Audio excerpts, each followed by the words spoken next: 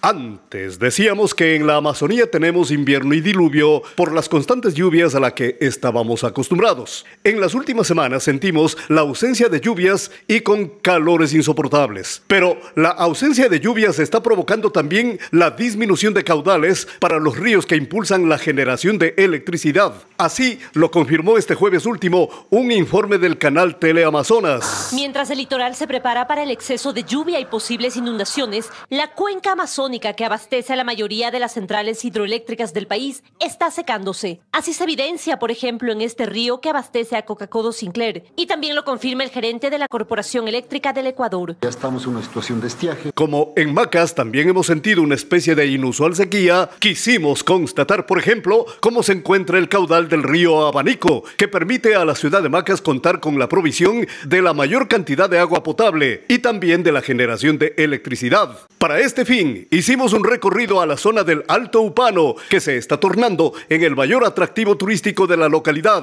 En este paradisíaco lugar, ubicado a 10 kilómetros de la parroquia San Isidro, el río Upano recibe las aguas cristalinas de 25 afluentes pequeños desde su nacimiento y luce sin contaminación alguna. Viajamos 3 kilómetros aguas arriba para constatar la confluencia del río Abanico con el Upano y saber si ha disminuido o no el caudal. El expresidente del GAT parroquial de San Isidro, licenciado Yamil Cabrera, confirma que el caudal ha disminuido. Sí, hace tres meses y medio iniciamos con el proyecto turístico de la navegación en el sector del Alto Upano y llegamos hasta este sector que es la unión del Upano con el Abanico. Y cuando iniciamos el caudal del río Abanico era más grande que el caudal del río Upano, pero en ese tiempo debido al verano y todas las cuestiones que, que se comenta, eh, podemos ver prácticamente que la que el caudal del río Abanico está eh, disminuido siquiera un 70%. Ahora que ha llovido los días anteriores está un poquito por lo menos de, agua, pero las semanas anteriores prácticamente todo este brazo de aquí estaba seco. Solo iba por el brazo de allá del fondo un poco de, de agua, pero eh, ese es el inconveniente que tenemos, incluso la parte del río cuando ya se une con el Upano, para allá ya se hace un poco también complicado la navegación por el caudal del agua. El representante de la empresa Hidro Normandía, por su parte, expresó que ante la disminución del caudal del Upano se ha tenido que bajar el nivel de generación. En efecto, hoy hemos podido evidenciar eh, el estiaje a nivel nacional y los efectos obviamente de la naturaleza. Hemos podido evidenciar el bajo caudal que presentan los ríos acá, no solo de la Amazonía, eh, no solo los ríos de nuestra localidad, sino de manera general en la Amazonía.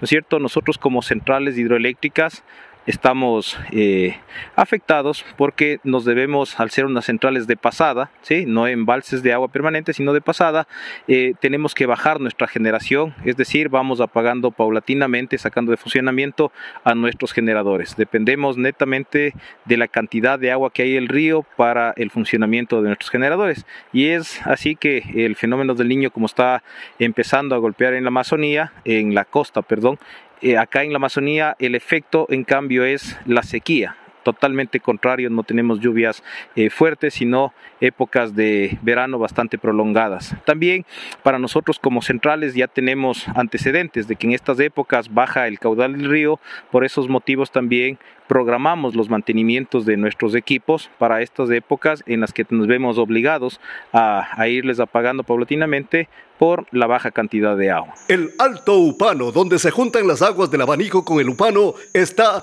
a 16 kilómetros antes de la confluencia del Upano con el río Volcán, afluente que desde el año 2019 viene contaminando con material volcánico. Y tenemos 16 kilómetros hacia la parte baja de la unión con el río Volcán. Como usted puede evidenciar acá, en los dos ríos que se encuentran ubicados las centrales hidroeléctricas, el agua es totalmente cristalina, el agua es transparente, podíamos evidenciar hace poco peces que estaban eh, nadando por nuestros pies. Eh, clara muestra de que eh, la acción que nosotros tenemos acá en los ríos no contamina, no hace absolutamente nada y el agua se mantiene, como siempre le hemos dicho, cristalina. Y por efectos de la naturaleza, la acción del río eh, Volcán, que arrastra todo el material piroclástico, cenizas del volcán Sangay, es donde cambia la coloración, que eh, obviamente no es una contaminación por temas de las personas, no es temas de químicos, sino básicamente es acción propia de la naturaleza por efectos del río Volcán. Yamil Cabrera, quien actualmente promueve el turismo a ese sector, espera que la sequía no se prolongue, afectando a la presencia de los turistas que llegan felices, especialmente los fines de semana. Esperemos que las situaciones mejoren y el río Abanico también recupere su caudal y pueda eh, seguirse disfrutando de estas aguas cristalinas.